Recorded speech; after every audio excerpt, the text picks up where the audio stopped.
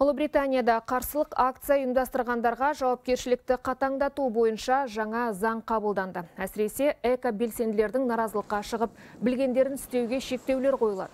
Заңға сәйкес полицияның өкілеттілігі артты. Енді жолды жауып, көлік қозғалысына кедергі болған адамдарды тәртіп сақшылары күштеп тарата алады.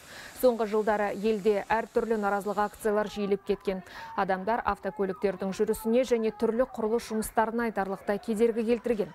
Сарапшылар заңды қатаңдату адам құқығын бұзады десе, билік өкілдері бұл мәжбүрлі шара деп кесіп айтты.